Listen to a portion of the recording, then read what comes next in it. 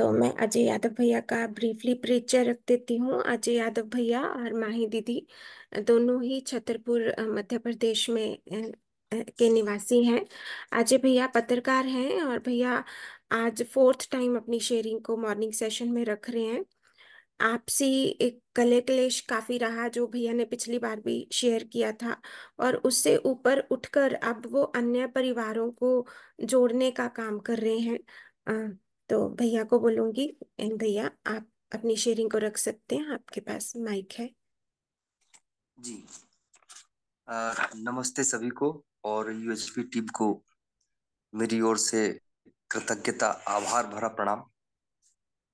सबसे पहले जो परिचय दिया है दीदी ने मैं उसको थोड़ा सा ब्रीफ करूँगा। अ, मेरा नाम अजय यादव है और मेरा जन्म स्थान सिवनी में हुआ है। और अभी हम लगभग 20 सालों से छतरपुर में रह रहे हैं।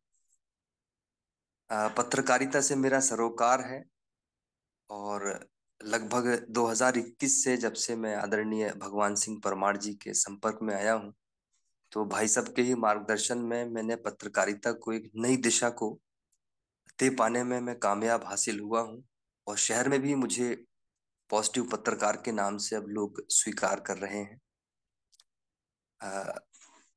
आ, मुझे सिर्फ़ पहले पत्रकारिता में जो माहौल था या जो हमारे आसपास में दिखता था मैं वैसा ही था। मुझे पता नहीं था कि परिवार को चलाने के लिए क्या बेहतर व्यवस्था हो सकती है। कैसे हम एक समृद्धि को ला सकते हैं जो सार्थक धन है वो कैसे इकट्ठा कर सकते हैं? तो मैं चाहे जैसा धन इकट्ठा करता था। लेकिन अब मैं मूल्यांकन करने के बाद ही पूरी समझदारी के साथ ही वहाँ तक का निर्णय ले पाता और जब से मैं यूएचपी के साथ जुड़ा हूँ, भाई साहब के साथ जुड़ा हूँ तो निरंतर रोज दर रोज मेरे कार्य में, व्यवहार में, परिवार में डेली कुछ ना कुछ परिवर्तन आ रहे हैं। पहले हमारे यहाँ जो दिक्कत थी वो भोजन, स्वास्थ्य इस पर ज़्यादा दिक्कत थी, जो धन का व्यय होता था। लेकिन अब मैं देख रहा हूँ कि शिक्षा में सबसे ज़्यादा धन की ज़रूरत होती है। और शिक्षा के लिए ही मुझे ज़्यादातर धन की एकत्रीकरण करना पड़ता है। जिसमें ज़्यादा से ज़्यादा बच्चों को जो सुबह से उठा देते हैं, बोझ लाद देते हैं, यूनिफॉर्म तरह तरह की सॉक्स, शूज़, ये तमाम चीज़ें। नहीं तो हमारा परिवार इतना अच्छा चल रहा है, समृद्धि में इतना बढ़िया है, जब से हम यूएचबी के साथ जुड़े हैं और रोज सुबह का सेशन पूरा परिवार सुन रहा है। तो इतनी ही बात मैं कहना चाह रहा था। अब मैं आगे बात करूँगा अपने अभ्यास की, जो दो अभ्यास है उन पर मेरी कितनी गति बनी है और मैं कितना इन अभ्यासों को जी पा रहा हूँ। तो सबसे पहले जो स्टेप है वो है स्वयं के द्वारा, स्वयं को देखना, हर क्षण देखना। लेकिन हर क्षण तो नहीं, मैं कह पाऊँगा। लेकिन 24 घंटों में जितना हम आराम करते हैं, हमारी बॉडी जितनी आराम करती है, उसी को छोड़े तो बाकी लगभग 12 घंटों में 8-10 घंटे तो मैं ये देख पाता हूँ कि मेरी कल्पनाशीलता में क्या चल रहा है। मेरे जो इच्छाएँ थी, जो भाव, विचार और आशा थी, वो पहले बहुत ज़्यादा इच्छाएँ थी। मैं बहुत बड़ा आदमी बनना चाहता था, एक बहुत बड़ा पत्रकार अपने आप को समझने लगा था। और मेरी उम्मीद थी कि मैं पूरे विश्व स्तर का एक बड़ा पत्रकार बनूं, अच्छी अपनी स्पीच को रख पाऊँ, मेरे पास अच्छे कपड़े हों, अच्छी गाड़ियाँ हों, मेरी फ्रेंड सर्किल ज़्यादा हो और हाई सोसाइटी में मेरा उठना बैठना हो। तो अब मैं देख पा रहा हूँ कि लगभग इन तीन चार सालों में ये विचार, ये कल्पनाशीलता, ये भाव बदले। और अब मैं केवल वही इच्छा, वही भाव, वही विचार, आशाओं को देखता हूँ, चला पाता हूँ, जिनमें सुख हो, समृद्धि हो, संबंध हो, व्यवस्था हो सह अस्तित्व हो। आगे स्टेप में मैं बात करना चाहूँगा कि इस क्षण मुझमें जो भाव विचार चल रहा है, वह मेरे लिए कितना आसान है या वो मानवीय स्वभाव के अनुरूप है या नहीं? या मैं इस भाव को निरंतरता में बनाए रखना चाहता हूँ या नहीं? तो अब मुझे स्पष्ट दिखने लगा है कि यदि मेरे अंदर बहुत ही सार्थक भाव, विचार चल रहे हों तो वो निरंतरता में हम बनाए रखना चाहते हैं। और यदि हम दुखी होकर या किसी से दुख पाकर अपने भाव विचार में कोई गड़बड़ी करते हैं तो हम बहुत दुखी होते हैं और ये विचार ज़्यादा लंबे समय तक भी हम नहीं बनाए रखना चाहते। हम्म, आगे जो थर्ड स्टेप है उसके बारे में मैं बताना चाहूँगा कि इस क्षण मुझमें जो भाव विचार चल रहा है उस भाव के साथ मैं कैसा हूँ? बहुत ही आराम में रहता हूँ या परेशान रहता हूँ? बहुत ही संगीत में हूँ या अंतर विरोध मेरे अंदर चल रहा है? मैं सुखी हो रहा हूँ या दुखी हो रहा हूँ? इस स्टेप में मैं अब बहुत ही आसानी से ये देख पा रहा हूँ कि मुझे आराम में रहना, संगीत में रहना और सुखी रहना ही पसंद है। इस क्षण, हर क्षण या मुझमें जो भी भाव विचार चलते हैं, इसका निर्णय कौन लेता है? पहले लगता था कि बाहरी कोई व्यक्ति है, उसके कारण ही मेरे भाव विचार में परिवर्तन हुआ है। या जो निर्णय मैंने लिया है, वो उसके कारण लिया है। कारण हम पहले बाहर को माना करते थे। जैसे पहले हमारे जो घर में विवाद हुए, हमारी धर्म पत्नी के साथ तो कहीं ना कहीं हमें लगा कि हमारे भाव विचार नहीं मिल रहे तो ये विवाद इतने हद तक आगे बढ़ गए कि हमें ऐसा लगा कि यहाँ पर हम हम संबंध विच्छेद करना चाहिए। लेकिन जैसे ही भाई साहब आदरणीय श्री भगवान सिंह परमार जी और भाभी जी अरुणा परमार जी ने हमें यूएचबी के बारे में समझाया, हमारे परिवार से मिले तो हम काफ़ी हद तक ये देख पाए हैं कि समस्या हम जितना बाहर देख रहे हैं उससे कहीं ज़्यादा हमारे अंदर। तो ये एक छोटी सी घटना मुझे याद आई इस स्टेप पर। अगले स्टेप में मैं बताना चाहूँगा कि मुझमें जो भी भाव विचार चलता है, उसका निर्णय का आधार क्या होता है?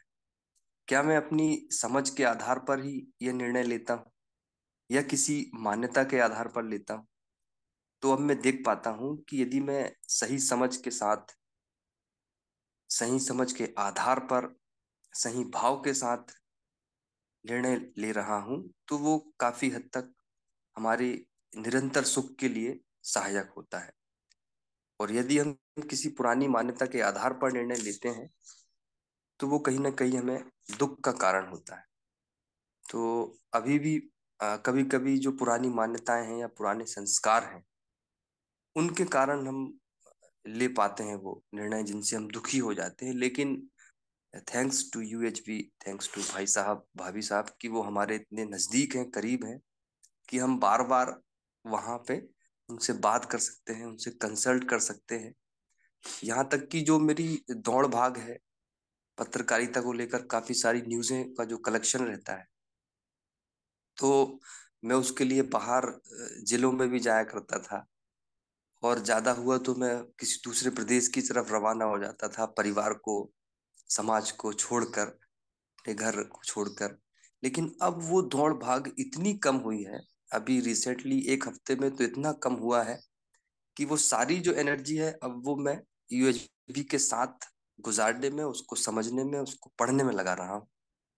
और ड्यूटी के दौरान भी मैं इतना सहज और सरल हो जाता हूँ कि अब ऑडियंस भी पूछती है, लोग पूछते हैं कि आप इतने इतने आसान कैसे हो गए, इतने सहज कैसे हो गए तो इसका कारण क्या है? तो वो अपने आप यूएचबी को जानना चाहते हैं, इनसे जुड़ना चाहते हैं। तो ये एक छोटी सी घटना मुझे यहाँ पर याद आई। छठवें स्टेप में मैं बताना चाहूँगा कि कौन सा भाव मेरे लिए बहुत सहज है, स्वीकार है। तो ये बहुत ही आसानी से हमें दिख रहा है कि हमें लोगों के साथ रिलेशनशिप संबंध का भाव बहुत ही ज़्यादा स्वीकार है, ना कि विरोध। हमें व्यवस्था में रहना पसंद है, ना कि किसी प्रकार की अव्यवस्था में। हमें सहस्तित्व का भाव ही पसंद है, ना कि संघर्ष का। और अभी मैं जान पाया हूँ, हमारी जो डेली यूएजीवी क्लास चलती है सन सिटी में जो भाभी साहब हमें गाइड कर रही हैं, उन्होंने मुझे बहुत ही बार बार समझाया है कि आप विरोध अव्यवस्था और संघर्ष में अभी तक जीते आए हैं। तो अब जो ये संघर्ष का एरिया है, इसको आप लांग कर, इस तरह पाइए जहाँ पे प्रकृति आपके साथ है, जो संबंध में है। पूरी व्यवस्था नेचर की बनी हुई है और आपका जो अस्तित्व है, वो प्रकृति के साथ मिलकर सहअस्तित्व को पूरा करेगा। तो ये मुझे अभी और ज़्यादा डीपली समझ में आया है और मैं इसको और भी ज़्यादा प्रयास कर रहा हूँ समझने का। अगले स्टेप में मैं ये सुनिश्चित कर पाता हूँ कि इस क्षण मेरा भाव, संबंध, व्यवस्था और सहअस्तित्व के अर्थ में बिल्कुल बना हुआ है, ना कि इसके अन्यथा है। इसी आधार पर इस क्षण में मैं हमेशा संगीत में सुखी में रहता हूँ और निरंतर सुखी रहता हूँ। मैं देख पाता हूँ कि जब भी मैं संबंध व्यवस्था और सहस्तित्व को संपूर्णता में समझता हूँ, तब मैं उसी के अनुरूप अपने भाव विचार का निर्णय करता हूँ और हमेशा आराम में रहता हूँ। तभी मैं दूसरों को भी सुख दे पाता हूँ। तो ये पहला स्टेप है जिससे मेरी काफ़ी कुछ गति बनी है और मैं लगातार प्रयासरत हूँ। और हमारे जो परिवार है, उनके साथ भी हमारा परिवार सभा रोज़ाना होती है। और जिस दिन नहीं हो पाती, उस दिन पिताजी भी कहते हैं कि आज हम लोग बैठे नहीं हैं, हमारी बात नहीं हुई है। तो इतना मैं अभ्यास एक को अभी समझ पाया हूँ। अभ्यास दो में मैं जितना समझ पाया हूँ वो आपके साथ साझा करता हूँ जिसमें हमने मटेरियल यूनिट को समझने की कोशिश की है जो हमारी बॉडी है शरीर है। तो इसमें मैं बताना चाहूँगा जो पहला स्टेप है स्वयं से शरीर को देखना। तो इसमें पहले होती थी थोड़ी सी तकलीफ़ लेकिन अब हम आ, हमारा जो ध्यान है वो इस ओर थोड़ा थोड़ा जाने लगा है कि हम कैसे सेल्फ को अलग करके उसको बॉडी को देख सकते हैं। और मैं हूँ और मेरा शरीर है, ये दोनों वास्तविकताएँ हैं और ये दोनों परस्पर दूरी में है। इनके बीच जो है, वो एक शून्य है। ये अभी हम इसको देखने की कोशिश कर रहे हैं। इस तरफ़ ध्यान थोड़ा अभी बनाने की कोशिश लगातार जारी है। दूसरे स्टेप में बताना चाहूँगा कि मेरे और शरीर के बीच में जो भी हम सूचनाएँ हैं, उनका आदान प्रदान हम कर रहे हैं। वो उसका माध्यम भी शून्य है। मेरे और शरीर के बीच में सूचनाओं का आदान प्रदान हो रहा है और इसका माध्यम जो है वो शून्य है। इस तरफ़ मेरा ध्यान जा रहा है। आगे, शरीर को क्या संकेत देना है? किस संवेदना को पढ़ना है? इसका निर्णय भी मैं ही लेता हूँ। इसको भी बहुत अच्छे से हम अब समझ पा रहे हैं। जैसे हमारे शरीर में कभी कोई तकलीफ़ होती थी, कभी कोई दर्द होता था तो रिसेंटली हम कोई मेडिसिन की तरफ़ जाते थे या उसको आराम देने की कोशिश करते थे। लेकिन कभी कभी जब बहुत ही इमिजिएटली वर्क है, कहीं पहुँचना है और कहीं चोट भी लग गई है तो वहाँ से हमारा शरीर से ध्यान हट जाता है। उस संवेदना को हम नहीं पढ़ते तो ये हम अब देख पा रहे हैं कि इसका निर्णय मैं ही लेता हूँ।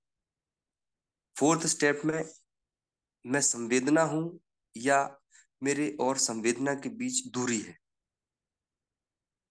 अब मैं इस वाक्य को भी, जो एक छोटा सा वाक्य है, इसको अब समझ पा रहा हूँ और मेरा ध्यान इसकी तरफ़ अब लगभग जाने लगा है कि संवेदना और सेल्फ दोनों के बीच में एक दूरी है। जैसे कि हम कह सकते हैं कि हमें कोई चोट लग जाती है तो उस चोट को हमें रीड करना है या नहीं करना है, उससे जो दर्द हो रहा है, वो सेल्फ और उस दर्द के बीच में एक दूरी है, ये मैं समझ पाया। अगले स्टेप में है जो बाह्य परिस्थिति का प्रभाव है, वो शरीर तक पहुँचता है, उसे मैं निर्णय पूर्वक पढ़ता हूँ। फिर उसे अर्थ देता हूँ और उससे प्रभावित होता हूँ या फिर नहीं होता हूँ। तो ये भी हमें अब थोड़ा सा स्पष्ट हो रहा है, क्योंकि जब भी कोई बाहरी व्यक्ति हमारी आलोचना करता है या हमारी प्रशंसा करता है तो हम बहुत जल्दी प्रभाव में आ जाते हैं। अभी भी ये थोड़ी मान्यता हमारे अंदर है, ये बनी हुई है तो मैं कोशिश कर रहा हूँ कि लगातार अभ्यास से कि बाहरी परिस्थिति का प्रभाव शरीर तक जो पहुँचता है, उसके बाद जो उसमें हम, उसको निर्णय पूर्वक पढ़ पाते हैं फिर उसको अर्थ देते हैं। फिर उसी उसी तरह हम ज़िम्मेदारी पूर्वक प्रस्तुत होते हैं। इसमें भी हमारी समझ अब बन रही। अगले स्टेप में जो बाहरी परिस्थिति से जो भी सूचना हम तक प्राप्त होती है, उसे मैं अपने किसी पुरानी मान्यता के आधार पर पहले समझता हूँ, या मेरे जो पुराने संस्कार हैं, उस आधार पे उसे अर्थ दे रहा हूँ। फिर उसके बाद में प्रतिक्रिया अपनी देता हूँ। तो प्रतिक्रिया में ही हमारी जो है वो परतंत्रता समझ में आती है, क्योंकि वहाँ से जो है, ट्रिगर का काम हो जाता है। वो हमें यदि प्रोत्साहित करते हैं तो हम बहुत ही खुश हो जाते हैं। और हमारे यदि क्रिटिसाइज होती है तो हम बहुत ही दुखी हो जाते हैं। तो अनुकृत्या में ही स्वतंत्रता है, सही समझ में ही स्वतंत्रता है। यहाँ पर ये बात मुझे समझ में आ रही है। और जो अंतिम स्टेप है, वो शून्य से रिलेटेड है, जिसमें मेरा होना शून्य के साथ, शून्य के सह अस्तित्व में बना हुआ है और मैं निरंतर क्रियाशील हूँ। शरीर का होना भी शून्य के सह अस्तित्व में बना हुआ है। मैं आवश्यकता अनुसार शरीर के साथ सूचनाओं का आदान प्रदान करता हूँ और इसके बीच जो सूचनाओं का आदान प्रदान होता है, वो भी माध्यम शून्य है। यह काम आवश्यकता के अनुसार सामूहिक रूप से हम करते हैं। और ज़िम्मेदारी की अगर मैं बात करूँ तो यहाँ छतरपुर में 22 किलोमीटर की दूरी पर ही नौगांव में यूएचवी का लिविंग सेंटर है, जिसे आदरणीय श्री भगवान सिंह परमार जी संचालित कर रहे हैं। वहाँ पर साप्ताहिक परिवार सभाएँ होती हैं और नए नए मुद्दों पर वीडियोस और संगोष्ठी आयोजित होती हैं तो वहाँ पर भी मैं ज़िम्मेदारी पूर्वक जाकर जितना संभव हो, मैं कोशिश करता हूँ, हेल्प करूँ। वीडियोस बनाने में हम लोग यूएचवी से रिलेटेड वीडियो बनाने लगे हैं। अच्छा मैं एक बात और बताना चाहूँगा कि जो पहले मैं वीडियो बनाता था ब्लॉग्स के लिए या न्यूज़ के लिए तो उसमें सार्थकता ढूंढनी पड़ती थी और वो बहुत कम होती थी। लेकिन अब जब से हम लगातार यूएचवी से जुड़े हैं, इसको समझ रहे हैं तो मार्गदर्शन भी हमें जो प्राप्त हो रहे हैं तो उसमें हमें ढूंढना नहीं पड़ता है सार्थकता को। हम सार्थकता से पूर्ण ही वीडियो कलेक्ट करते हैं और उसी को लेकर शुरू करते हैं तो टॉप ऑर्डर, मिडिल ऑर्डर और लास्ट ऑर्डर में पब्लिक ऑडियंस उसको पूरी तरह समझे, ये हमारा प्रयास रहता है कि हमारी छोटी छोटी घटनाओं के माध्यम से हम कैसे लोगों के बीच सार्वभौमिक मानव मूल्यों को पहुँचा सकते हैं। और इसमें हमारा जो समय है यूएसबी में लगाने का, पहले बहुत कम लगता था, अब इसकी गति बहुत ज़्यादा बढ़ रही है। और मुझे तो ये लग रहा है कि यदि हम इसको जितना ज़्यादा समय दें, जितना ज़्यादा इन स्टेप्स को समझें, अपनी आत्मा में इनको बिठा लें तो उतनी जल्दी ही हमें ये समझ में आता है कि हमारा जन्म इस पृथ्वी में क्यों हुआ है? हम क्यों यहाँ पर आए हैं? पहले हम जो निरंतर भागदौड़ में लगे हुए थे, धन अर्जन में लगे हुए थे, किसी से भी, किसी की भी प्रतिक्रिया में तत्काल उसको जवाब देते थे। अपने बाहुबल का हम उपयोग करना चाहते थे, लेकिन अब ये सारी चीज़ें धीरे धीरे लगातार कम होते जा रही हैं। ये मुझे स्पष्ट दिख रहा है। तो इतनी बात मैं अपनी रखा हूँ यहाँ पे। आगे मेरे पिताजी हैं और धर्म पत्नी है, वो भी अपनी बात रखेंगी। तो अगली आवाज़ मेरे पिताजी की, श्री बालक राम यादव जी।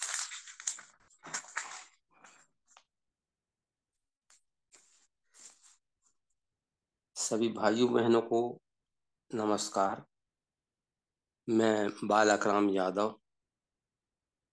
आजा मेरा बड़ा पुत्र है। और मैं सिवनी जिला का रहने वाला हूँ। मैं सत्तर वर्ष का जनवरी में हो जाऊँगा पूरा। मैं यहाँ सन 2000 से निवास कर रहा हूँ, बुंदेलखंड एरिया में।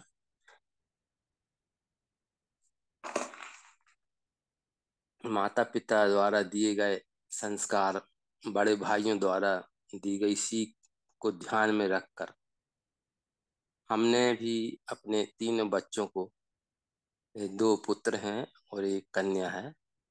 दो पुत्र तो शादीशुदा हैं, कन्या भर अभी रह गई हैं।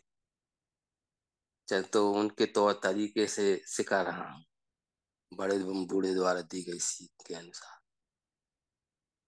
यूएचबी द्वारा मानव मूल के बारे में भाइयों और बहनों द्वारा समझाया जाता है। जीवन जीने की कला को विस्तार पूर्वक से समझाया जाता है। मुझे बहुत अच्छा लगता है। अजय जब से जुड़ा है तो बताते रहता है बीच बीच में हम लोग बैठ जाते हैं। अब अजय पुत्र तो नहीं, अब दोस्त के समान है। तो हम खुल के बात करते हैं और बड़ा बारीकी से वह सब मुझे समझाने की कोशिश करता है। क्योंकि मैं अभी अभी जुड़ा हूँ तो मुझे उतना कैच करने की क्षमता नहीं है। या तो इसको उम्र का तकाजा कह सकते हैं, या फिर अभी अभी जुड़े हैं, कुछ ज़्यादा समय नहीं हुआ है मुझे। घर में काफ़ी बदलाव आ गया है हमारे घर में, जो बात बात में तू तू मैं में हुआ करती थी। हमें तो कोई नहीं है। सब नॉर्मल रूप से हो गया है अब। बढ़िया फ़र्स्ट क्लास जीवन यापन चल रहा है। मैं बार बार कोटि कोटि धन्यवाद देना चाहता हूँ यूएचबी को।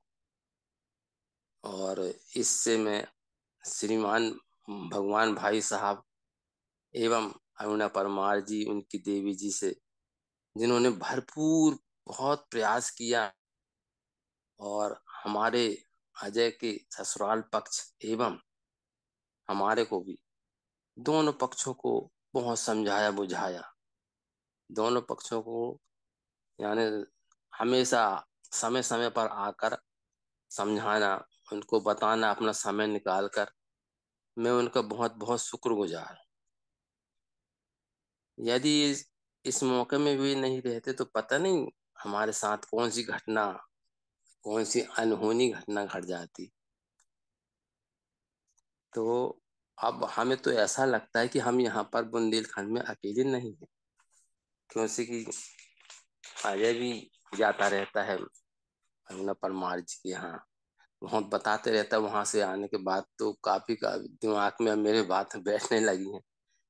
तो जितना मैंने कैच किया हूँ, उतना मैं आपको बता रहा हूँ। मानव मूल्य के संबंध में। नहीं तो हमारे परिवार के लोग तो 600 किलोमीटर दूर छिंदवाड़ा सिवनी ज़िले में थे। अब यहाँ पर हम एक प्रकार से अकेले ही थे, समझो। भाई साहब, भगवान जी के रूप में हमारी सहायता करने आ गए। उनका ना, जैसा नाम है, वैसा ही काम है। मैं अपनी ओर से एवं अपने परिवार की ओर से यूएचबी को कोटि कोटि धन्यवाद देता हूँ। भाइयों बहनों को कोटि कोटि धन्यवाद देता हूँ। जो सुबह से इतने बढ़िया प्रवचन अमृत के समान सुनाते हैं, इससे परिवार बिगड़े ना किसी का। धन्यवाद। जी अब हमारी जो धर्म पत्नी है, मोहिनी जी, वो भी अपनी बात रखेंगी क्योंकि उन, उनके अंदर भी काफ़ी कुछ बदलाव आए हैं और हम लोग अब आपस में जो झगड़ते थे, हर बात पे अब हम लोग लोग डिस्कस करने लगे हैं। तो ये एक बड़ा चमत्कार देखने को मिला है मुझे भी। कि जो पहले हम एक दूसरे को देखने में ही हम लोग बहुत ही असहज महसूस करते थे। और अब ईश्वर कृपा से, यूएचबी की कृपा से हम लोग लगभग 24 घंटे साथ में हैं। हमारा कार्य भी एक हो गया है। पहले हम अलग अलग काम करते थे, अब साथ में ही काम करते हैं। अटल भूजल योजना में हम लोग साथ में मास्टर ट्रेनर रहे हैं। तो वो भी अपना कुछ बताना चाहेंगे अनुभव? मोहिनी जी की आवाज़। जी, सभी को मेरा नमस्कार। मेरा नाम मोहिनी यादव है और मैं छतरपुर से हूँ। मैं एक मास्टर ट्रेनर हूँ। जैसा कि इससे पहले भी मैं अपनी दो शेयरिंग दे चुकी हूँ कि हमारे घर में क्या, कितना विरोध था, कितना लड़ाई झगड़ा था, उसमें मैं पहले बता चुकी हूँ। और सबसे पहले तो मैं ये बता दूँ कि मैं यूएचबी से लगभग एक साल से जुड़ी हूँ। और इससे पहले पति मेरे दो तीन साल से जुड़ी थी तो मैं इनडायरेक्ट तरीके से यूएसबी से जुड़ी थी। कभी क्लास सुन पाती थी, कभी नहीं सुन पाती थी। पर पिछले एक साल से मैं यूएसबी से जुड़ी हूँ और इसमें भी बच्चे छोटे होने के कारण या जॉब के कारण कभी कभी ऐसा भी होता है कि मैं क्लास अटेंड नहीं कर पाती हूँ किसी कारण बस। लेकिन जितना भी मैं यूएसबी से सुन रही हूँ, सीख रही हूँ, मैं ये तो नहीं कह सकती कि मेरी बहुत अच्छी तैयारी, पर जितना भी मैं अपनी समझ बना पा रही हूँ उस हिसाब से आज मैं अपनी शेयरिंग रखने वाली हूँ। और ये जितना भी मैं अपने जीवन में उसको उतार रही हूँ, जितना काम मैं यूएसबी का अपने जीवन पर, बच्चों पर, घर पर कर रही हूँ, वही बात मैं अपनी आज शेयरिंग में कहने वाली हूँ। जैसा कि दो शेयरिंग में पहले मैं बता भी चुकी हूँ कि हमारे घर में कितना लड़ाई झगड़ा था हमारे परिवार से सास ससुर से पति से। हम लोग इतने ज़्यादा परेशान थे कि तलाक तक नौबत आ गई थी। यहाँ तक कि ऐसा लगता था माहौल में कि तलाक तो ठीक है सुसाइड कर लेना चाहिए। इतने परेशान हो गए थे लड़ाई झगड़ों से। और सभी समझाते थे फैमिली वाले रिश्तेदार मगर समझ में नहीं आता था। सबको ये लगता था कि क्या समझाने से या हमें समझाने से सब कुछ नॉर्मल हो सकता है बदल सकता है। तो ऐसा मुझे लगता था। और सबसे पहली बात तो मैं ये, यही कहूँ कि जब सब मेरी माँ या सब मुझे ज़्यादा प्रेशर डालती थी कि बेटा तुमको बदलना पड़ेगा, अगर तुम बदल जाओगी तो आगे चल के सब सही हो जाएगा। तो मुझे लगने लगता था कि ये क्या बात है? समस्या तो दोनों लोग से है, विरोध भी दोनों तरफ़ से होता है। भाई मेरे अकेले समझदार बनने से या मेरे बदलने से ऐसा क्या हुआ कि सब कुछ बदल जाएगा? तो मैं इस बात पे बिल्कुल भी बिलीव नहीं करती थी और मुझे लगने लगता था ये कोई बात नहीं है। लेकिन जब भी मैं यूएचबी से जुड़ी इसमें सुना कि आप पहले स्वयं को देखें जिससे हम जीवन को समझ रहे हैं। क्योंकि हमें जीवन को समझने की समझ ही नहीं थी। स्टेप वन में भी कहा है कि मैं स्वयं को स्वयं से देखूँ। तो मैं स्वयं को स्वयं से नहीं देख पा रही थी। उसकी कल्पनाशीलता को नहीं देख पा रही थी। हमारी जो इच्छा थी, विचार थी, समझ थी, उसे बिल्कुल समझने का प्रयास ही नहीं कर रही थी कि ये सब क्या है। पर जब मैं धीरे धीरे मुझे लगा कि भाई माँ भी यही बोलती है कि खुद बदलो। फिर यूएसबी की जब भी मैं क्लास लेती थी तो पर डे किसी ना किसी का स्वभाव के परिवर्तन के कारण कोई अच्छी समझ सुनती थी कि आज मैंने अपने स्वभाव को बदला है तो आज मेरे घर में ये हो गया। तो मुझे लगता था कि यार सुख में अगर रहना है तो पहले स्वयं को देखो कि मैं क्या हूँ। क्या मेरे स्वभाव या नेचर बदलने से सब सुख में हो सकते हैं तो धीरे धीरे पहले तो मैंने यही विचार किया कि मैं कैसे अपने आप को मान लूँ कि मेरे बदलने से या मेरे स्वभाव के कारण सब ठीक हो सकता है। तो जब मैंने धीरे धीरे इसी बात पे प्रयास किया, जीवन को समझा, फिर मैं स्वयं को स्वयं से देख रही हूँ, ये प्रयास किया मैंने। कल्पनाशीलता, हमारे कल्पनाशीलता में जो विचार आ रहे हैं, वो किस प्रकार के आ रहे हैं? भाव है हमारी, सामने वाली से विरोध में है या अच्छी इच्छा में है या विरोध में नहीं है तो पहले जब माहौल लड़ाई झगड़े का था तो विचार भी विरोध के ही आते थे। लेकिन जब अपनी सोच को और विचारों को बदला कि नहीं, हमको विरोध में नहीं रहना है, क्योंकि इससे सबसे ज़्यादा नुकसान हमारे बच्चों का है। हम तो अपना जीवन जी रहे थे, लड़ाई झगड़ा करके कैसे भी, ना घरवाली सुखी थे, ना पति, ना मैं। कोई मतलब ये समझ में नहीं आ रहा था कि हम लोगों की ज़िंदगी में सुधार कैसे होगा। बस यही लगता था कि डिवोर्स हो जाएगा पति भी बोलते थे, बच्चे रखना है तो रखो, जाना है तो जाओ। मगर ये जीवन का कोई निर्णय नहीं था। ना तो मैं पति को छोड़ के रख सकती थी, ना बच्चों को पति से दूर रह के रह सकती थी। तो ये बहुत मतलब ज़िंदगी का सबसे बड़ा दुख था, मैं कह सकती हूँ इसे, कि समझ नहीं आता है। और एक लड़की को तब जब उसके पिता ना हो, मायके में, मेरी माँ अकेली है, मेरे छोटे भाई और एक बहन है। तो इस कारण ये भी दुख होता था कि मैं जब मायके जाऊँगी तो लोग क्या कहेंगी, समाज क्या कहेगा कि लड़ाई झगड़े के कारण बेटी घर छोड़ के आ गई है डिवोर्स हो गया। तो ये भी बहुत मन में आता था। तो सबसे पहले मैंने अपनी यूएचबी की जो शुरुआत की है, स्वयं को स्वयं कर देख कर ही और स्वयं को बदलाव से ही की है। मैंने खुद को बदलना ही सबसे पहले शुरू किया। और जैसे ही मैंने नेचर बदला, कोई भी कुछ कहता था हाँ हाँ तो जब मेरा नेचर बदला और मुझमें मैंने अपने भाव विचार को बदला, समझ आ रही थी, थोड़ी समझ बना रही थी तो देख रहे थे कि सामने वाले पर असर था, वरना ऐसा नहीं था। जब मैं अपने भाव विचार नहीं बदलती थी, सामने वाला दो कदम ही आगे चलता था, फिर वो हमारी सासू, माँ हो या पति। लेकिन जब मैंने थोड़ा धीरे धीरे शुरुआत की कि किसी के कहने पर मेरे मन में कोई विचार नहीं आता था, मैं हाँ बोलती थी हाँ यही सही। यही है तो मेरे पति को भी लगा। तो उनमें भी थोड़ा थोड़ा परिवर्तन आया कि ये ऐसा बोल रही है। तो जो बात वो मेरी नहीं मानते थे, नहीं सुनते थे, वो भी सुनने लगे थे। और जब ये थोड़ी सी शुरुआत हमारे जीवन में खुशी की हुई तो मुझे बहुत अच्छा लगा। तो मैंने और आगे बढ़ने का प्रयास किया। जैसे स्टेप टू की बात करूँ तो जो भाव विचार चल रहे थे, उसे मैं पहले नहीं देख पाती थी। लेकिन जब मैंने सुधार किया तो मैं उसे देख पा रही थी। और एक चीज़ और मैंने यूएसबी में सुनी थी कि निरंतर सुख में रहना, निरंतर सुख में कैसे रहते हैं और सुख स्वभाव है या प्रभाव? तो मैं पहले तो यही समझती थी कि प्रभाव है, क्योंकि जब कोई अच्छी बात होती है, हमारे साथ सुख का माहौल होता है तो हम खुश हो जाते हैं हँसी खुशी होती है और जब कोई दुख का माहौल होता है तो हम दुख हो जाते हैं। लेकिन ऐसा नहीं था, जब मेरी समझ बनी कि अगर हम चाहें अपने स्वभाव को बदल रहे हैं तो हम निरंतर सुख में रह सकते हैं, ये हमारे ऊपर ही डिपेंड है। हमारे सिर्फ़ भाव और विचार और विरोध की भावना बदलने से ये हो सकता है कि हम निरंतर सुख में हो सकते हैं। तो मैंने ये शुरुआत की। पहले मुझे छोटी छोटी बातों पे गुस्सा आ जाता था, जैसे कुछ भी सासू माँ ने कहा कि तुझे ये नहीं करना है तो मुझे लगता था मुझे यही करना है। उससे क्या होता था, विरोध बढ़ता था, लड़ाई झगड़ा बढ़ता था। पर मैंने फिर कोई भी बात होती थी, मैं अपने जीवन में जीने की शुरुआत कर दी थी तो सुख में रहना चाहती थी, इसलिए मैं कुछ बातों को ध्यान नहीं देती थी, सिर्फ़ हाँ मतलब सुनती सबकी थी, करती अपने मन की थी तो बस उतने में हाँ हाँ कह देती थी, मैं अपने हिसाब से रहती थी और काम करती थी तो थोड़ा सा ये था कि मुझे सुख मिल रहा था, और जब मुझे सुख मिल रहा था तो सबसे ज़्यादा असर मेरी शरीर मेरी बॉडी पर था क्योंकि जब ये लड़ाई झगड़ा चलता था तो मैं इतनी ज़्यादा बीमार हो गई थी डिप्रेशन में चली गई थी माइग्रेन की प्रॉब्लम हो गई थी थायराइड हो गई थी मतलब इत, इतनी सारी बीमारियाँ हो गई थी तो रात दिन मैं खुद से ही परेशान थी कि मैं अपने बच्चे कैसे बड़े कर पाऊँगी या कैसे पाल पाऊँगी इस उम्र में ये हाल था मेरा। पर जब मैंने सबसे पहले सुख में रहना है तो निरंतर सुख में रहने की क्रिया को सीखा है कि भैया हमको कुछ भी हो जाए कुछ भी कोई कह ले दो बातें कह ले मैं सुनूँगी, मुझे सुख में रहना है।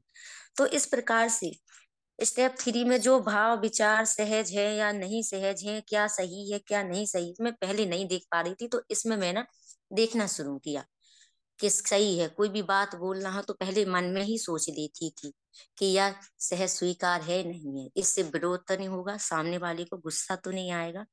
तो ऐसा करके मैं बहुत सोच समझ के बोलती थी, घर में बात करती थी। तो इससे क्या है कि पति में भी चेंज आया और सास ससुर में भी आया। जब मुझमें धीरे धीरे चेंज आया तो विवाद अपने आप कम होने लगा। और इसका निर्णय मैं ले पा रही थी भाव विचार जो भी चल रहे थे और उसे मैं समझ भी पा रही थी कि यार, मैं जो भाव विचार है, विरोध के नहीं आ रहे हैं, अच्छे विचार आ रहे हैं, मैं संबंध व्यवस्था संबंध को बना पा रही हूँ, सुधार हो रहा है तो सब थोड़ा सा अच्छा माहौल हो गया था। और जब मेरे घर में लड़ाई झगड़ा शांत होने लगा है तो मेरे पड़ोस में, मेरे रिश्तेदारों को लगने लगा कि यार, अचानक से ये क्या हो गया? इनके घर में ऐसा क्या हो गया कि भाई अब इनके यहाँ लड़ाई झगड़ा नहीं होता है? एक दूसरे की बात भी सुन रहे हैं सास ससुर के साथ भी बहू अच्छे से रह रही है। अचानक से माहौल में परिवर्तन क्या हो गया? तो जो मेरी पड़ोस में एक शिखा ताम्रकार रहती है, मेरी ही फ्रेंड है, उनके घर में भी बहुत ज़्यादा लड़ाई झगड़ा होता था। तो कभी कभी उनको लगने लगता था कि, भाभी, आपके घर में ऐसा कौन सा जादू हो गया है? आप इतनी परेशान थी, मैंने देखा है, आए दिन लड़ाई झगड़े होते थे। और एकदम से इतना बदलाव आ गया है, भैया भैया में भी बहुत चेंज है, बदलाव आ गया है, बहुत आपकी हेल्प करते हैं। सुधार है, दोनों लोग साथ में ड्यूटी जाते हैं, दोनों लोग मिलके बच्चों को संभालते हैं और मम्मी पापा भी बच्चों को देख रहे हैं। कुछ भी मुझे ज़रूरत पड़ती है तो मेरी हेल्प भी करवा रहे हैं। तो ऐसा क्या हो गया आपके घर में? तो उसको लगने लगता था कि हम पति पत्नी तो बहुत लड़ाई झगड़ा करते हैं, कुछ आप ऐसा मुझे बताइए। तो जब भी मैं फ्री होती थी तो उसके घर पे जाती थी और जो भी मैं यूएसबी से थोड़ा थोड़ा सीख रही थी या समझ बना पा रही थी, वही बात मैं उसको रखती थी कि देखो, मेरा कारण तो यही है कि मैं खुद को बदल रही हूँ। क्योंकि भाई सामने वाला नहीं बदलना चाहता है तो ऐसे ही लड़ाई झगड़े हमारे घर में होते हैं। और अगर तुम्हें सुख में रहना है अगर तुम पति के साथ रह रही हो इस घर में रहना है और जीवन निकालना है और सुख में रहना है तो तुम्हें अपना नेचर स्वभाव बदलना पड़ेगा। तो उस उसने भी थोड़ी थोड़ी शुरुआत की। इतन, इतनी ज़्यादा नहीं क्योंकि उसको भी बहुत ज़्यादा गुस्सा आता है। जब पति लड़ाई झगड़ा करने पे आता है तो वो उससे भी ज़्यादा बहुत क्रोध आता है उसको वो संभाल नहीं पाती है अपने आप को तो वो और ज़्यादा क्रोध में सब भूल जाती है कि क्या करना है। बोली उनने ऐसा कहा तो मैं तो सवाल ही नहीं रख पाई मैंने ऐसा बोल दिया या मैंने अपना हाथ काट लिया, क्योंकि उसका अपने गुस्से पर कोई काबू नहीं था। तो फिर मैंने समझाया कि बस लड़ते रहो, अपने बच्चों को बर्बाद करो छोटे छोटे बच्चे हैं, तुम्हारे कौन संभालेगा? तो उसने थोड़ी सी शुरुआत की। फिर कोई भी बात होती थी, जैसे एक दिन उसकी बेटी का जन्मदिन था तो उसने स्वास्थ्य सही ना होने के कारण जन्मदिन नहीं मनाया, छोटे बच्चों को बुला के घर में सेलिब्रेट कर लिया, किसी को नहीं बुलाया। तो सामने वाली दीदी ने उससे बोला कि क्यों सिखा तुम बहुत ज़्यादा गरीब हो गई हो? क्या तुमने मेरे बच्चों को नहीं बुलाया? तो वो बहुत ज़्यादा परेशान हो गई है कि यार मेरा बच्चा है, मैंने अपनी बर्थडे पार्टी मनाई है बच्चे की, मेरी मन है, लेकिन सामने वाले ने कैसे मुझे सुना दिया? तो फिर उसको गुस्सा आया, उसने मुझे फ़ोन किया कि भाभी और आज मुझे समझ में नहीं आ रहा है, मुझे बहुत गुस्सा आ रहा है, सामने वाली दीदी ने आज मुझे ऐसा बोला। तो अब मैं क्या करूँ? तो फिर मुझे हँसी आई मैंने कहा कि ये बताओ तुम अपने स्वभाव में हो, स्वयं को स्वयं से देख पा रही हो, क्या करना है अपनी समझ बनाओ। तुम्हें सुख में रहना है कि दुख में? भाई, उनका काम था तुम्हें टेंशन देना। तो उनने तो तुम्हें को टेंशन दी, दो बातें सुनाई, अपने घर में आराम से लेटी हैं, टीवी देख रही है। मगर तुम क्या हो? अब पति के साथ लड़ाई झगड़ा नहीं हो रहा है तो सामने वाले की बातों को लेके बैठ गई हो। अब तुम्हें गुस्सा आ रहा है कि उनने ऐसा बोल दिया। तो भाई, तुम तो मस्त इंजॉय करो ना। हाँ दीदी हमारा शरीर सही नहीं था, हमारे पास पैसे नहीं थे तो क्या करें? हम तो सोच रहे थे कि आपसे ले ली इस तरह से बढ़िया हंस के बात करती और वही बात को छोड़ के अपने आराम से रहो सुख में। हमें सामने वाला क्या कह रहा है, ये नहीं सोचना है। आप कैसी समझ बना रही हो और क्या करना है, ये सोचो ना। तो फिर वो हाँ खुश हो गई, बोली हाँ ये अच्छा कहा, नहीं तो हम तो परेशान थे। आपसे बात करके हमें ये समझ में आ गया है मैं तो सुख में रहना है, हम क्यों उनकी वजह से परेशान हूँ? तो इस तरह से थोड़ा थोड़ा मैं जो भी समझ बना पाती हूँ और उसे जहाँ भी मुझे, मेरी हेल्प की ज़रूरत लगता है तो मैं ज़्यादा तो नहीं, लेकिन जितना भी समझ पा रही हूँ, उतना उसको बता देती हूँ। अगर स्टेप फाइव में मैं कहूँ कि भाव विचार देखने का जो आधार क्या है, सही समझ के आधार पर देखती हूँ तो सुखी होती हूँ और मान्यताओं के आधार पर देखती हूँ तो कभी कभी सुखी और कभी कभी दुखी हो जाती हूँ, क्योंकि भाई मान्यता है और ये मान्यता जो लोगों ने बना ली है तो ज़रूरी नहीं है कि हमेशा यही सही हो। अब मैं, मेरे देवर की शादी थी जून में 28 जून को। तो जून में तो बारिश होती है, ये सब जानते ही हैं। लेकिन बहुत ज़्यादा बारिश होने के कारण मेरी मम्मी जी को लगा कि अरे नहीं, दो दिन पानी नहीं गिरना चाहिए। तो उन्होंने क्या किया कि गणेश जी को लेकर पानी में डुबा दिया। तो मैंने कहा, मम्मी, इससे क्या होता? बोली, इससे ना पानी रुक जाता है। जितने दिन गणेश जी पानी में रहेंगे तो बारिश नहीं होगी। तो मैंने कहा, अरे यार, ये तो अच्छा तरीका है। मतलब जब हमको बारिश ना करना हो, ये हम कर सकते हैं। देखा तो उस समय दो दिन बारिश नहीं हुई। तो मुझे ऐसा लगा कि हो जाता है, लेकिन एक बार और ऐसा हुआ कि फिर डाली, लेकिन बारिश नहीं रुकी। तो फिर मैं समझ गई कि मान्यता पर कभी कभी हम सुखी हो जाते हैं, क्योंकि हमेशा ज़रूरी नहीं है कि हमने मान्यता मान ली तो ये हमेशा होना ही है। तो ये बात मुझे समझ में आई कि मान्यता हम मान लेते हैं, लेकिन कभी पूरी होती है, कभी पूरी नहीं होती है। तो इस कारण से घर का माहौल चेंज हो रहा है, मेरे बच्चों में भी बहुत परिवर्तन आ रहा है। जैसे ही मैंने अपने नेचर स्वयं को स्वयं से देखा, निरंतर सुख का प्रयास किया तो उससे मेरे बच्चे बहुत खुश हैं, क्योंकि मैं और जब मेरे पति मिलके दोनों साथ में ड्यूटी जाते हैं, काम पर जाते हैं, दोनों घर की हेल्प करते हैं तो इसका प्रभाव मेरे बच्चों पे भी बहुत पड़ रहा है। उनको भी लगता है कि अब मम्मा पापा लड़ते नहीं हैं और बच्चे छोटे से हैं, बेटा मेरा आठ साल का है, नौ साल का और बेटी मेरी छह की कंप्लीट हुई है अभी। तो उनमें इतनी समझ आ गई है कि जब भी वो यूएचपी की क्लास सुनती है मेरी बेटी तो वो भी सुनने लगती है कि हमें एक अच्छा इंसान बनना है कि बुरा इंसान बनना है। हम अच्छा इंसान कैसे बन सकते हैं? तो इस तरह से वो भी कभी कभी समझाने लगती है और कभी उनके पापा क्लास ले लेते हैं पाँच दस मिनट बच्चों को जब भी फ्री होते हैं तो दे देते हैं कि ये बताओ तुम सेल्फ क्या है और बॉडी क्या है? तो बेटी कल मेरी दादा दादी को समझा रही थी कि देखो दादा, आप सेल्फ क्या है? आप आँखें बंद करोगे ना, छिंदवाड़ा भी घूम के आ जाओगे। आप वहाँ देख लोगे, मेरी ये गाड़ी रखी है।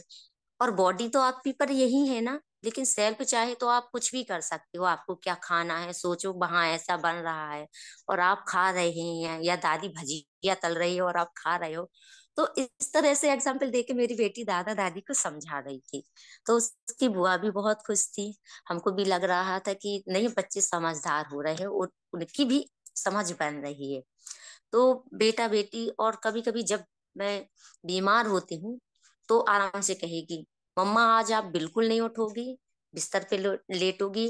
डैडी, आप खाना बनाओगे, मैं झाड़ू करूँगी और भाई बर्तन साफ़ करेगा। मम्मा, आज बिल्कुल काम नहीं करेगी।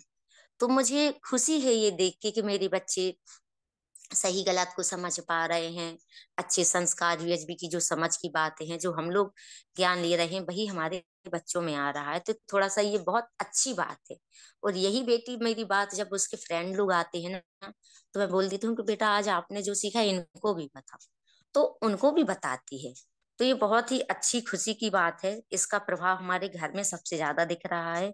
तो पड़े, पड़ोसी, साथ में जितने भी हमारे रिलेटिव हैं, उनको बहुत खुशी होती है कि तुम लोग बताओ इतना लड़ाई झगड़ा करके रह रहे थे, आज इतने अच्छे से सुख में हो, बच्चे भी समझदार हो रहे हैं। तो ऐसा थोड़ा सा हमने शुरुआत की है, घर का माहौल, सास, ससुर के बीच भी कोई विरोध नहीं है, सब बढ़िया चल रहा है। और हम अगर संबंध व्यवस्था से अस्तित्व को समझना पहले मुझे लगता था कि संबंध जहाँ हमारे अच्छे हुए हैं तो व्यवस्था अपने आप बन जाती है। सिर्फ़ मैंने ये, इसका प्रयास घर में ही किया था कि घर में तो सबसे संबंध अच्छे हो गए हैं हमारे। भाई, अगर संबंध है तो वहाँ विरोध नहीं होना चाहिए, और जहाँ व्यवस्था है तो अव्यवस्था नहीं होना चाहिए। घर में तो मैंने संबंध को ठीक कर लिया था तो व्यवस्था अपने आप ही ठीक हो गई थी।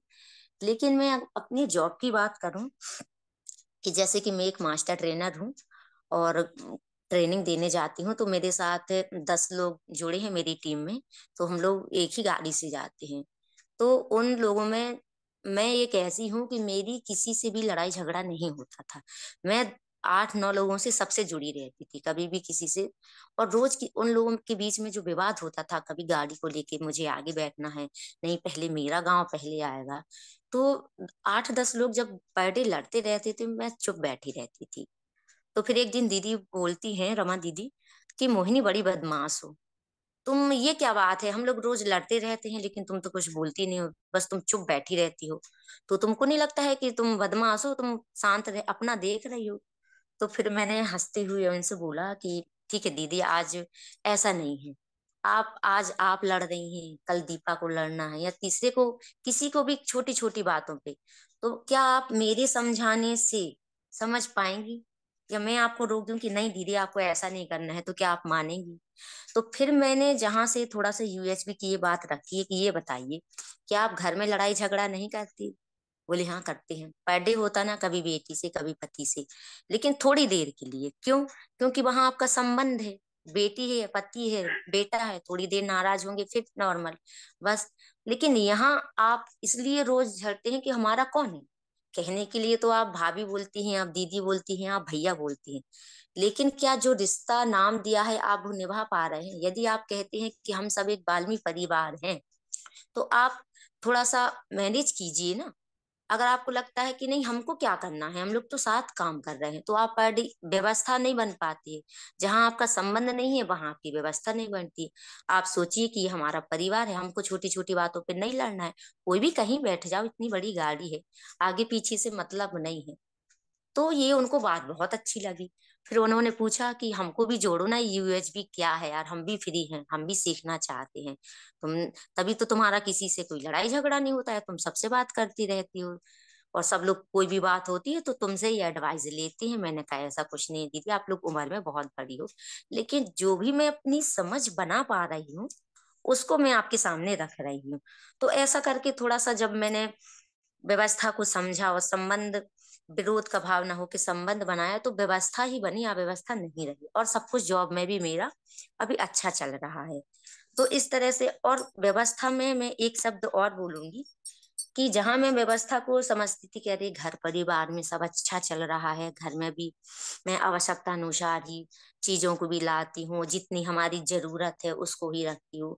क्या आज की डेट में हमारी इस चीज़ को ज़रूरत है, वस्तु की ज़रूरत है तो मैं लेती थी, अन्यथा नहीं लेती थी। क्योंकि जितनी ज़रूरत है क्या उसको भी तो हमें घर में कमी होना, है ना, सामान की ज़्यादा होना तो उठाने रखने में दिक्कत होना, हमको ही परेशान होना ज़्यादा कपड़े होना तो कहाँ रखें इतना कपड़ा? तो इस पे भी मैंने थोड़ा सा ध्यान दिया है कि क्या इस चीज़ के बगैर मैं चला सकती हूँ या इसके बगैर मेरा काम चल जाएगा? अगर चल जाएगा तो मैं नहीं लेती हूँ, अगर ज़रूरत है उसकी बहुत ही ज़्यादा तो मैं उसको लेती हूँ। तो पहले मुझे लगता था कि अब मैं परिवार में भी यही ध्यान दे रही हूँ व्यवस्था पर, यही व्यवस्था है। और थोड़ा सा काम ज़्यादा कर लेती थी। ज़रूरत से ज़्यादा कि मतलब शरीर पर ध्यान ना देना, आराम ना देना और काम ज़्यादा होना या संघर्ष कर लेना। तो फिर मुझे एक दिन भाभी से बात हुई, श्रीमती अरुणा जी से।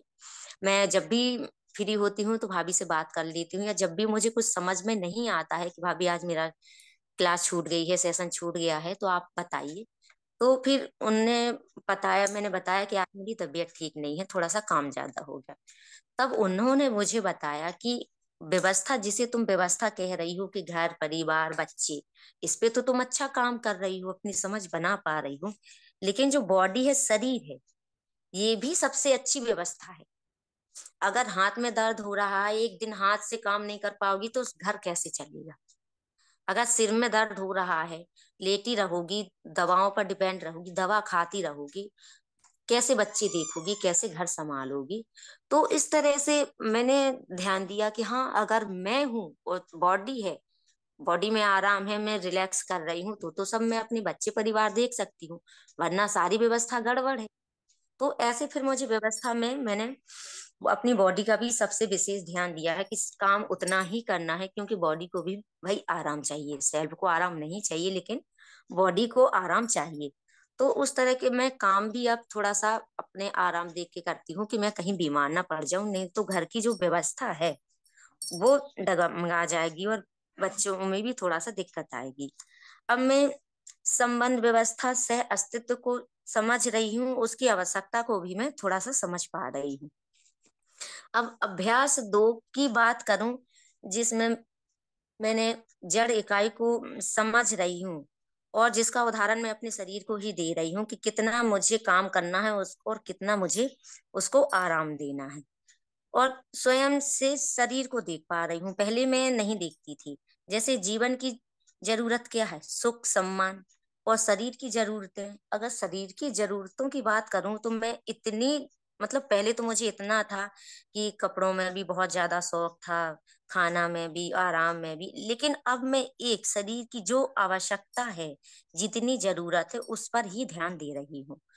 और इन दोनों के बीच सूचनाओं का जो आदान प्रदान होता है, उसको भी मैं देख पा रही हूँ, जैसे सिर में दर्द होना तो ये सिर में दर्द है, गोली खाना है, नहीं खाना है या अभी मैं चाय पी के काम चला लूँगी या काढ़ा पी के तो ये सब सेल्फ ही निर्णय लेता है। तो थोड़ा सा इसको भी मैं समझ पा रही हूँ कि बॉडी का क्या काम है और सेल्फ क्या करता है।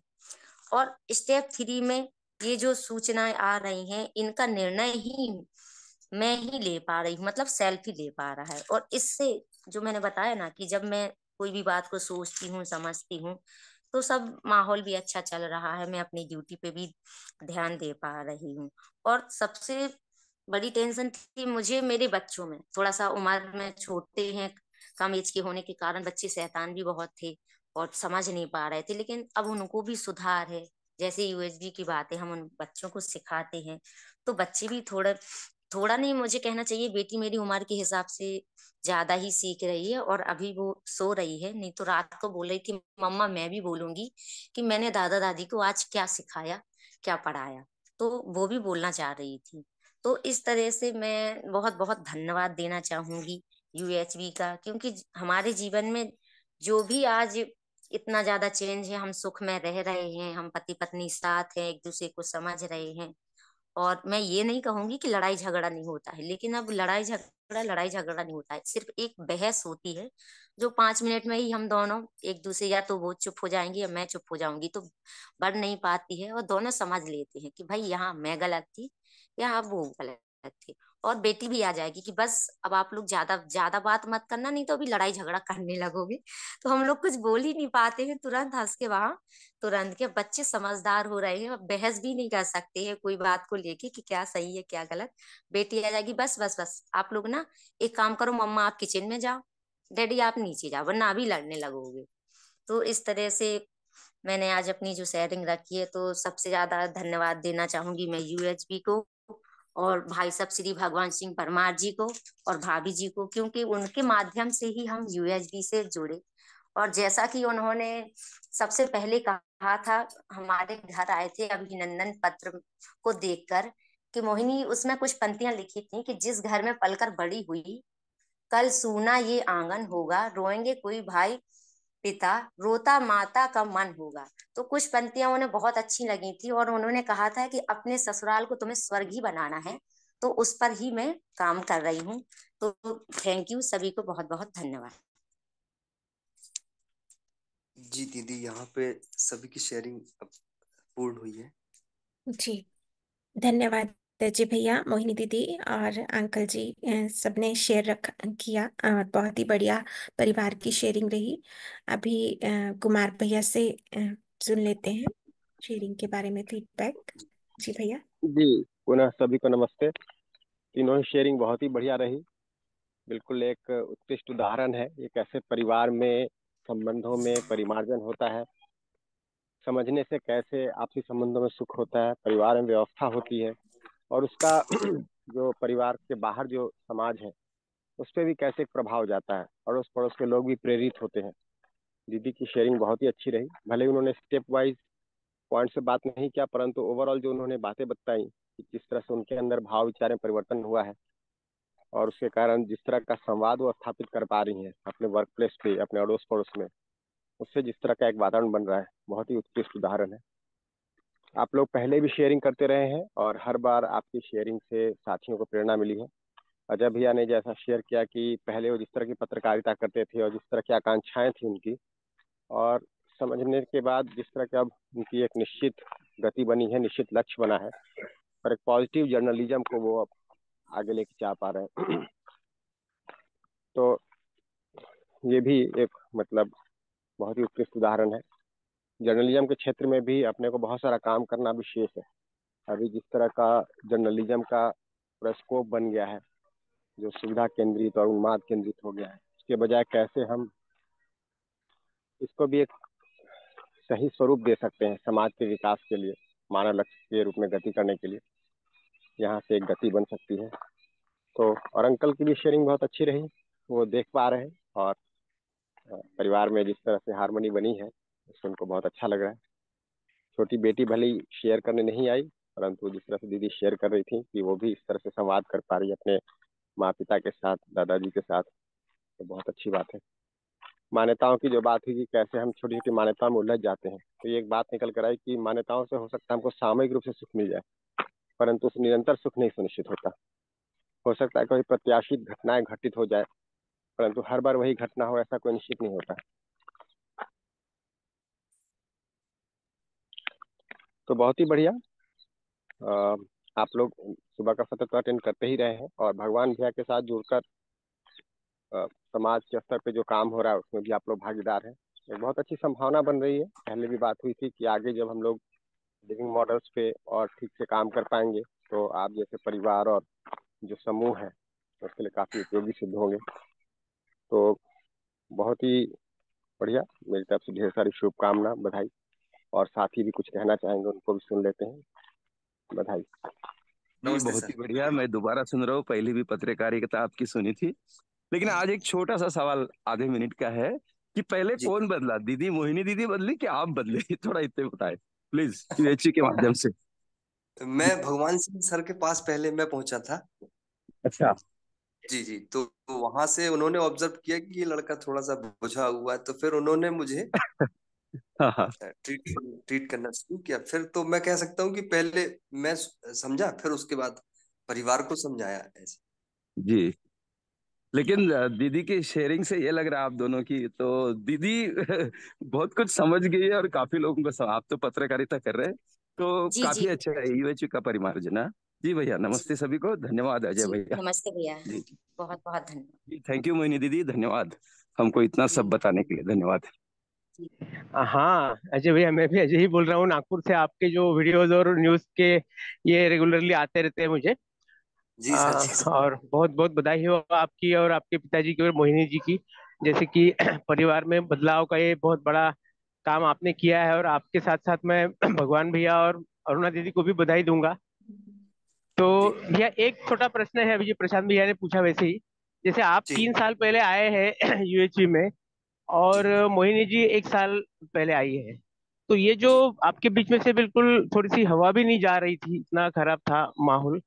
और जब आपके समझ में आ गया यूएसपी का कंटेंट ऐसा है और ऐसे में जब आप बात पहली बार जब आपने बात छेड़ी होंगी तो तो मोहिनी जो बिल्कुल सुनने की भी मनस्थिति में नहीं होंगी आपकी बात। तो उस वक्त आपने क्या किया? मतलब आपने जैसे बात रखी तो सामने वाला तो बिल्कुल ये आपका ऐसे ही है, हमेशा वैसे ही है। तो वो जो वो जो परिस्थिति है, पहली बार क्या आपने बोल के उनको ये करने के लिए लगाया कि आपने अपने अपना व्यवहार, में बदलाव लाया? फिर वो समय कितना था? मतलब कितना समय आपको इंतज़ार करना पड़ा ताकि वो चेंज उनका रुख इधर, इसकी तरफ़ हो? क्या कुछ बोल पाएँगे इस बारे में? इसका जवाब सर वो खुद ही दे रही है जी भैया मैं पहले भी अपनी शेयरिंग में बता चुकी हूँ कि जब ये जुड़े थे तो मुझे इंटरेस्ट नहीं था। ये क्लास लेते थे और ऑन करके थे स्पीकर रख देती थी। हम्म, तो हम्म। मैंने बताया ना कि कभी कभी तो मुझे गुस्सा आता था कि क्या सुबह सुबह से खुद उठ जाते हैं मेरी नींद खराब करते हैं। लेकिन ध्यान तो मेरा जाता था। और जब भी मैं किसी की शेयरिंग सुनती थी तो यही सुनती थी कि आज मैंने बदलाव किया है तो आज मुझमें ये सुधार हो गया। तो तो आधी आधी बात में सुनती रहती थी। और फिर जब मुझसे भाई साहब ने बोला भाभी ने बोला कि आपको जोड़ना चाहिए तो मैं उनकी बात नहीं डालती हूँ। मैं जुड़ी। और इस, मैंने एक और बात और बता दूँ कि मैंने यूएसबी को क्यों अपनाया? क्योंकि मेरी माँ ने मुझे ही हमेशा समझाया, भले ही गलतियाँ इन्होंने भी लेकिन उनका कहना था बेटा, मेरा दमान तो हीरा है, तुमको ही बदलना पड़ेगा, अगर तुम बदल गई तो सब सही हो जाएगा। तो फिर ये भी बात मैंने यूएसबी में देखी कि यूएसबी भी खुद कह रहा है कि स्वयं को स्वयं से देखो। तो फिर मेरा ध्यान और ज़्यादा यूएसबी पे गया। तो मैं जुड़ी और मैं आज सुख में हूँ और शुरुआत थोड़ा सा अगर आज ये खुश होते थे ना तो मैं और ज़्यादा खुश हो जाती थी अरे, आज इनका नेचर तो बहुत बदला है। तो इस तरह से दोनों ने शुरुआत की। कभी मैं खुश होती थी तो ये ज़्यादा खुश हो जाते थे। आज तो इसने कुछ कहा नहीं, मैं ऐसा सामान भी लाया तो आज तो ये कुछ बोली नहीं, खुश है। तो थोड़ा दोनों ने शुरुआत की। थैंक यू जी दीदी मतलब उनके व्यवहार में बहुत सारा बदलाव जो आया है बहुत ज़्यादा चेंज का बड़ा एलिमेंट वो रहा है मतलब है ना? आपको बात करने से अच्छा उनके व्यवहार में बदलाव दिखा। ऐसा हुआ ना पहले? जी। कितना समय लगा जब यह मतलब वो सब इनको बताने के लिए एक साल मतलब एकाएक तो होता नहीं ना? नहीं नहीं एकाएक नहीं होता है एक से डेढ़ साल लगा है है ना? धीरे धीरे हम लोगों ने शुरुआत की।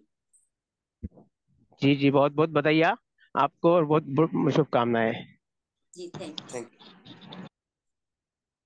लोगों की प्रायोगिक भी थी लेकिन अभी अजय से मैं संतुष्ट नहीं हूँ और अजय को अभी बहुत काम करना है।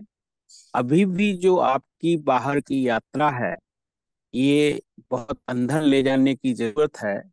फिर जिस प्रकार से पत्रकारिता के क्षेत्र में इस समय संपूर्ण विश्व को ही पत्रकारों की ज़रूरत है क्योंकि जिस प्रकार से फ़िल्में, जिस प्रकार से जो माहौल बनाया जा रहा है समाज को तोड़ने का, उसमें सार्थक जर्नलिज्म को लाना ही होगा।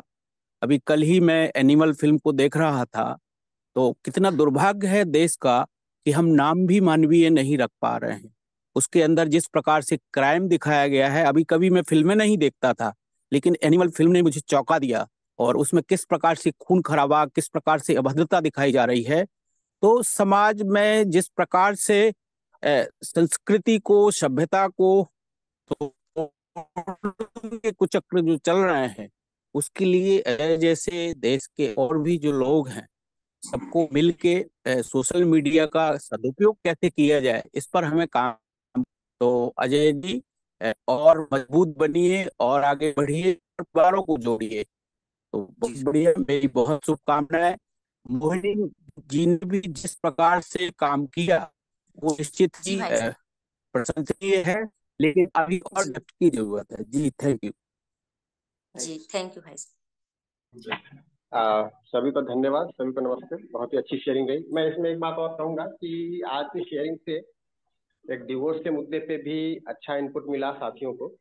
और हमें लगता है कि इस पे भी थोड़ी स्टडी होनी चाहिए कि जिन परिवारों में छोटी छोटी बातों पे आवेशित होकर डिवोर्स हो जाता है। उन परिवारों में किस तरह से आगे की स्थिति बनी और जिनमें थोड़ा सा ध्यान दिया समझने पे तो आगे किस तरह की स्थिति बनी। तो इस पर भी थोड़ा कहीं शोध कार्य अगर हो रहा हो तो उसको हम लोग ध्यान में ला सकते हैं। और ये बहुत इंपॉर्टेंट शेयरिंग रही आपकी बहुत ही बढ़िया। मेरी तरफ़ से सभी को शुभकामना बधाई।